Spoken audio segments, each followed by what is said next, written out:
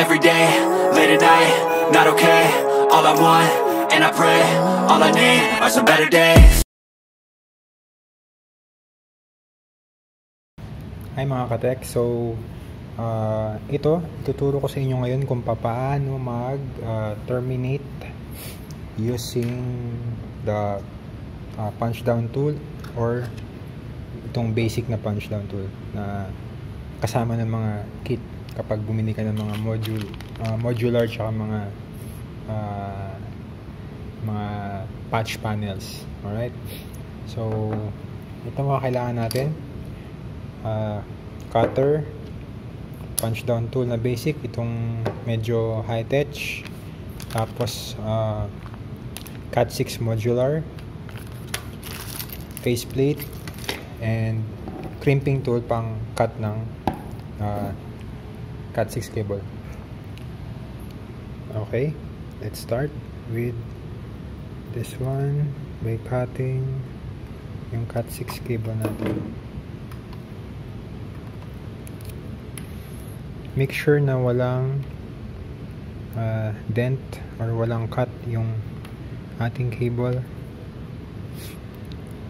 yung twisted pair. So para hindi pangit ang kalabasan ng output ninyo. So cut lang natin to. Okay. So bubuksan ko ngayon to yung modular.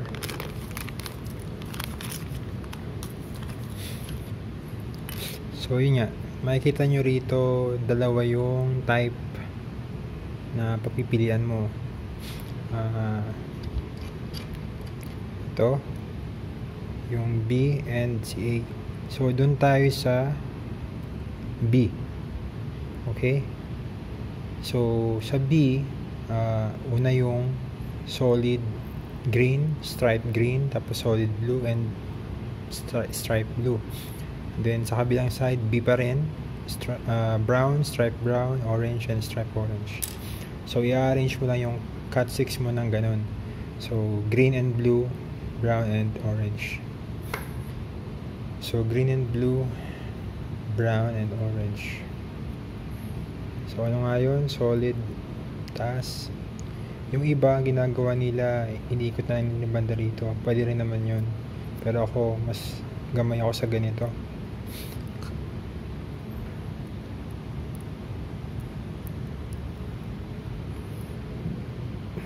Okay. Papakita ko lang sa inyo ng medyo baga lang. So, yan. Oops, bago pala kayo mag uh, maglagay nito, meron pa tayong guides so yung guides normally sinushoot mo bago bago mo ikat to so nakat ko na so dito ko sa hablan dulo i-shoot pero ibang daan naman ibang way siya so ganyan so ang mangyayari niyan kapag na, na, na punch mo na lahat dito na terminate mo na lahat ilalak niya ngayon yung ganyan. Maglalak siya para hindi umuga or secure yung uh, twisted pairs mo. So si si brown tayo muna. Brown stripe brown. Yan. Try nyo lang mag ano i-adjust or mag mag leave ng space para hindi kayo mahirapan. So kapag nadikit nyo na dyan gagamitan mo na ng punch down tool. So ang gagamitin natin punch down tool is yung basic. Ito. So usually may mga gumagamit ng uh, terminal plate. Yung plate is naka ganyan para hindi sila mahirapan na so ako usually pinapatong ko dito or sa uh, wall Okay, ipapunch ko na. So, uh, make sure na B ang pinipili nyo. Brown, ha? Solid brown and stripe brown.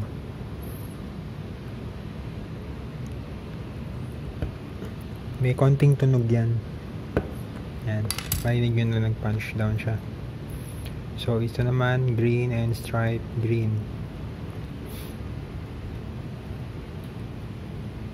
Again, make sure na tama yung uh, pinili yung code or label. Yan. So, other side, it's solid orange and orange stripe orange. Okay. Tapos yung blue yung blue pwede mo nang i-prepare. Para diretso na. Mas madali mag-terminate later on doon sa patch panel compare sa mga modular na to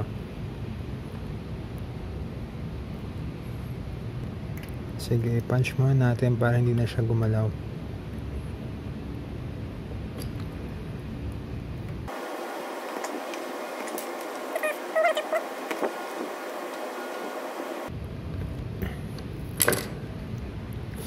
So, i-double check nyo kung nabaon nyo lahat. Kita nyo kung baon lahat eh. Kung nakasagad. Yun, mukhang sagad naman lahat. Tapos, ito kasing medyo medyo kalawang na. Ito kasing punch down tool na to, may pangkat siya. Pero ito nga medyo kalawang na so hindi ko muna ginamit. Linisin ko muna. May isa pa akong punch down tool pero hindi ko makita. So kung wala kayong pang-cut isa lang gamitin nyo yung cutter.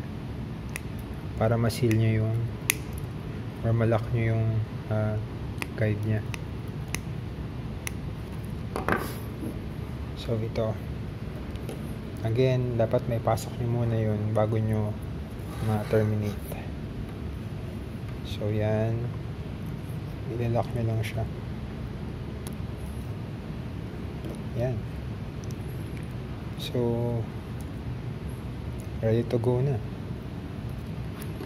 Yung yung uh, cat 6 modular port. So ito may dual ako. And meron din akong single. So makikita nyo sa video mamaya uh, may ginawa akong dual at may ginawa akong single. So ito. Wala na ako makita ng single eh. Ito man dual sample lang naman. So ito may makikita kayo yung space taas. So matik naman yan. Maglalak unahin yun sa baba. Maglalak siya dyan tapos push nyo lang. Yan. So okay na siya.